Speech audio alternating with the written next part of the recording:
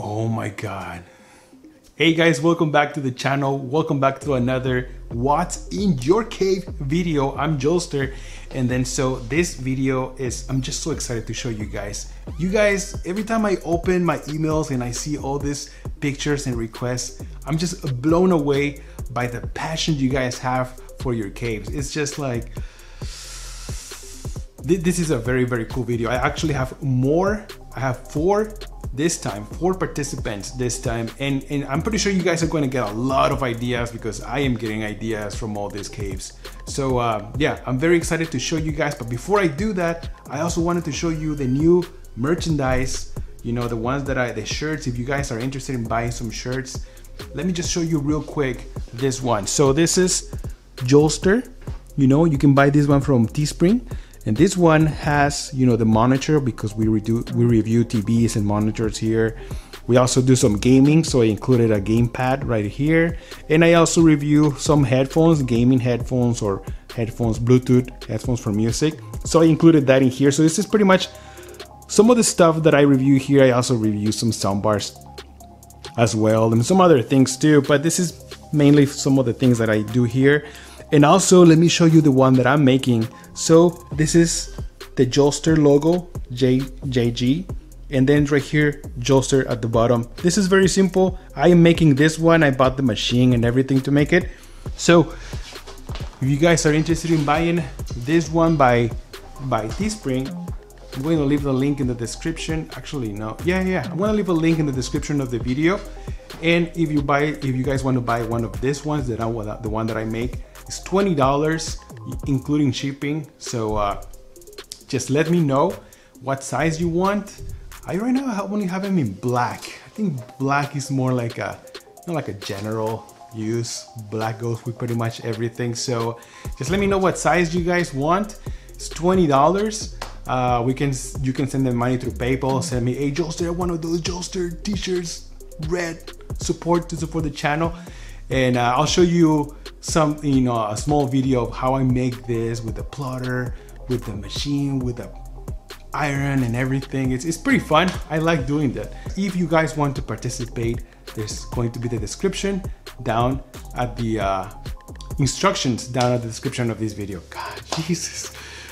Let's do this.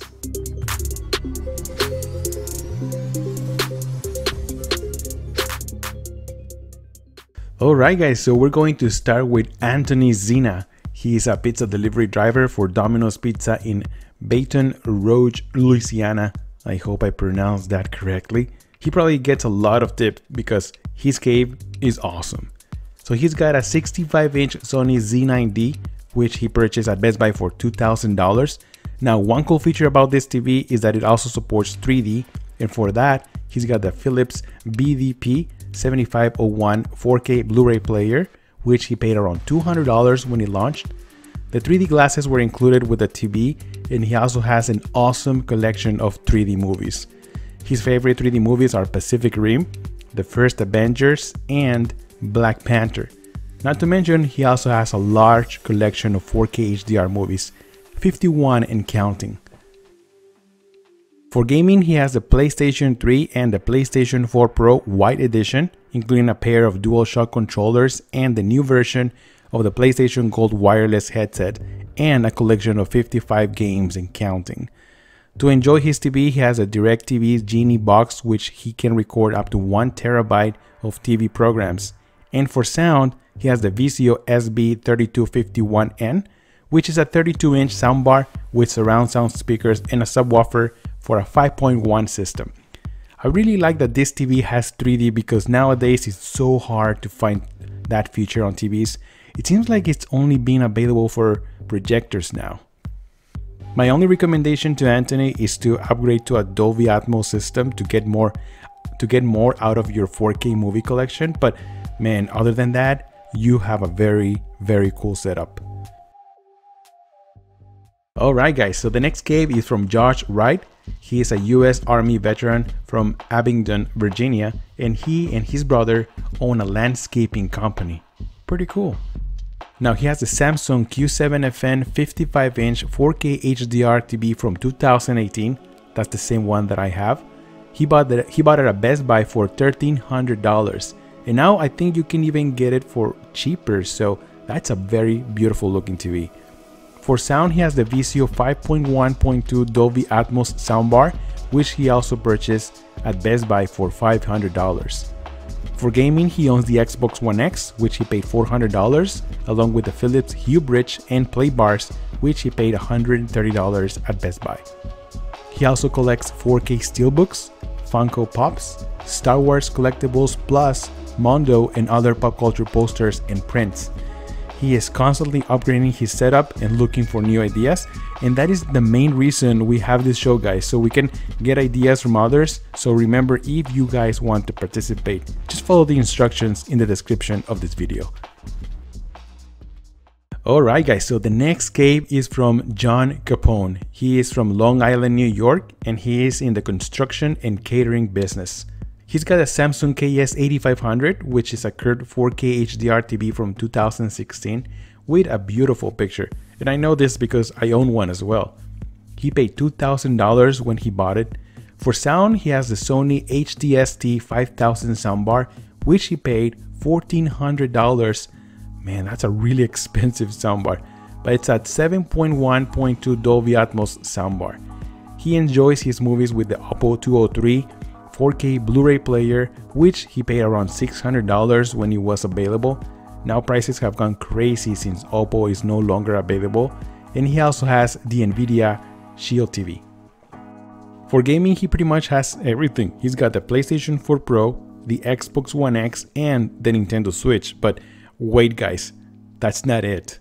Mr. Capone here is also into the PC master race. He's got the Acer X34P monitor. This is a 34 inch ultra wide 1440p monitor with an IPS display and G-Sync. You can buy it right now for around $850. He also has the Corsair K65 mechanical keyboard with a custom keycaps, along with a Corsair Dark Core wireless mouse and SteelSeries mouse mats.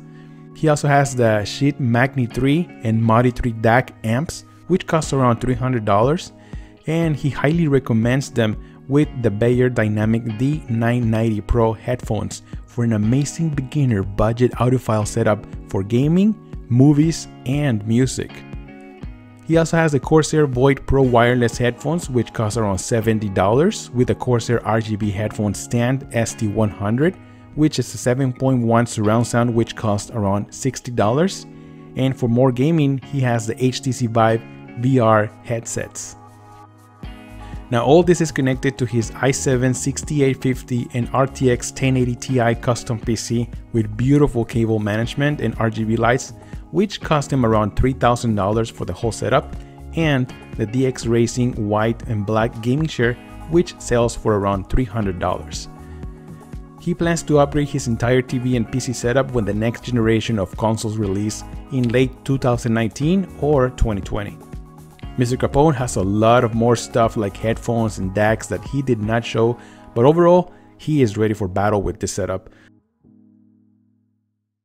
Alright guys, so the next cave is from Rom Rush. He's from Cleveland, Ohio. He works at the Veterans Affairs Medical Center as a medical support assistant.